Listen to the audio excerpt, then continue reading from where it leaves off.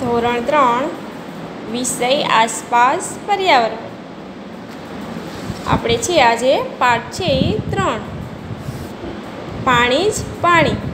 પાણી. પાણી તમે ના વગાડો, આ પાણી અનમોલ છે. જીવતરનો એના વગર છેડો, આ પાણી અનમોલ છે. શું કહે છે કે પાણી તમે ન બગાડો? પાણી છે એ અનમોલ છે. જીવન જીવવા માટે આપણે પાણીની સખત જરૂર હોય છે. અને પાણી વગર આપણે છેડો પણ આવી શકે નહીં. આ પાણી છે એ અનમોલ છે. ઝરમર ઝરમર, વરસાદ વરસતો, નદીઓ, નાળાને તળાવ છલકાવતો. શું કહે છે? કે ઝરમર ઝરમર છે એ વરસાદ વરસી રહ્યો છે અને નદી, નાળા અને તળાવ એ છલકાઈ રહ્યા છે. સાગરમાં ચડતો થઈ ઘોડો આ પાણી અનમોલ છે. શું કહે છે? કે સાગરમાં ચડે છે અને એ સાગરમાં છે એ ઘોડાપૂર આવે છે. આ પાણી છે એ અનમોલ છે. હિમગીરીની ટોચે એ બરફ થઈ બેસતું. શું કહે છે કે હિમાલય પ્રદેશમાં જઈને એ બરફ થઈને એ બેસે છે અને ઉકળતા વરાળ થઈ ઉડતું. શું કહે છે? અને ઉનાળામાં છે એ ઉકાળીને વરાળ થઈને એ ઉડે છે. ઝરણાના ગીત ના છોડે આ પાણી અનમોલ છે. શું કહે છે કે ઝરણાના ગીત ના છોડે આ પાણી છે એ અનમોલ છે. પાણી આપણે સતત આ પાણી આપણને છે એ જીવન જરૂરિયાત વસ્તુઓમાં છે એ ઉપયોગી હોય છે. પાણી વગર તમે શું કરી શકો? તો કે પાણી વગર આપણે કંઈ કરી ન શકીએ. રસોઈ પણ ન બનાવી શકીએ, વાસણ ન બનાવી શકીએ, કપડાં ન ધોઈ શકીએ, પોતા પણ ન કરી શકીએ. તો પાણી વગર તમે શું ન કરી શકો? તો કશું થાય જ નહીં. તો ખેતીવાડીને જાળવા જીવાડતું. શું કહે છે કે ખેતીવાડીને છે એ ખેડૂતોને છે એ જીવતા રાખવા માટે પાણી છે એ અનમોલ છે. ખેતીવાડીને ઝાડવાને જીવવા માટે એ પાણી છે એ પાવામાં આવે છે. તો જ ઝાડવા છે એ મોટા થઈ શકે અને ખેતીવાડીમાં આપણે ખાઈ શકીએ. પશુ પંખીને પ્રેમથી એ પોષતું. શું કહે છે? પશુ પક્ષીને પણ પાણી વિના ચાલતું નથી. એટલે પશુ પક્ષીઓને પણ પાણીની જરૂર પડે છે. માનવીની માનવીની રગ રગમાં દોડે આ પાણી અનમોલ છે. શું કહે છે કે પાણી માનવી છે? માણસો છે.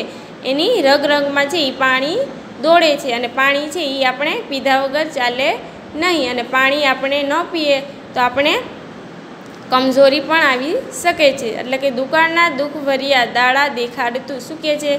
કે માનવી છે એ રગરગમાં પાણી છે એ દોડે છે. દુકાળમાં છે એ પાણી ન હોય તો દુકાળમાં દુઃખભર્યા દાડા દેખાડતું છે દેખાડે છે. એટલે કે પાણી ન હોય તો આપણે શું કરીએ છીએ? શું કરી શકીએ? પૂરની પ્રચંડતાએ હૈયું હલાવતું. શું કહે છે કે જ્યારે નદી નાળા આવે છે, પૂર પૂર આવે છે, ત્યારે પ્રચંડતા રૂપે હૈયું એ હલાવે છે. કૂવા, નળ, ડંકીમાં ડોકાતું આ પાણી અનમોલ છે. જ્યારે વરસાદ આવે, ત્યારે છે એ કૂવા, નળ અને ડંકીમાં પાણી છે એ આપણે જમીનની અંદર છે એ જાય છે. ત્યારે છે એ કૂવા, નળ અને ડંકીમાં પાણી છે એ આવે છે. તો પાણી છે એ આપણે મનુષ્ય માટે ઘણું બધું ઉપયોગી છે. શું તમે પાણી પર કોઈ ગીત કે કવિતા જાણો છો? તો વર્ગમાં ગાઓ. તો પાણી શું કરી શકે તેવી આ કવિતામાં કઈ કઈ બાબતો છે? પાણીમાં ઘણી બધી રીતના છે એ પાણી કરી શકે. તો વિચારો અને લખો. જ્યાં પાણી જરૂર હોય તેના માટે રાઇટ કરો. રમત રમવામાં અને ગાવામાં. હોળીની હાર બનાવવામાં તો કે પાણીની જરૂર પડે નહીં. અને રમત રમવામાં અને ગાવામાં છે એ પાણીની જરૂર પડે તો લખવામાં અને ચા બનાવવામાં. તો કે એમાં પાણીની જરૂર પડે નહીં. માટી ગૂંદવા, તો કે એમાં હા, માટી ગૂંદવામાં છે એ પાણીની જરૂર પડે છે. તોફાન કરવામાં, ચિત્ર બનાવવા, તો કે ના, એમાં પાણીની જરૂર પડતી નથી. વૃક્ષો ઉગાડવામાં, તો કે હા, વૃક્ષો ઉગાડવામાં છે એ પાણીની જરૂર પડે છે. તો વિચારો અને લખો. પાણી વગર તમે શું કરી શકો? તો કે પાણી વગર તમે શું કરી શકો એમ કહે તો પાણી વગર આપણે કંઈ કરી શકીએ નહીં. રસોઈ ન બનાવી શકીએ, વાસણ ન કરી શકીએ, કપડાં ન ધોઈ શકીએ, પોતા પણ ન કરી શકીએ. તો પાણી વગર તમે શું ન કરી શકો? તો કે રસોઈ ન બનાવી શકીએ, કપડાં, સ્નાન, ઘર સાફ કરવા, આ બધું છે એ પાણી વગર આપણે ન કરી શકીએ. પાણી વધારે અથવા ઓછું. તો નીચેની પ્રવૃત્તિઓને પાણીની જરૂરિયાત મુજબ ગોઠવો. જે કામમાં વધારે પાણી જોઈએ તેનાથી શરૂઆત કરો. તો કે સ્નાન કરવા, પીવા માટે, ઘર સાફ કરવા, ખેતરમાં પાણી આપવા, માટી ગૂંદવા અને રાંધવા. માટી ગૂંદવા એટલે માટીનો છે આપણે કેમ લોટ બાંધી એવી રીતના છે એ માટીનો ગૂંદવા માટે.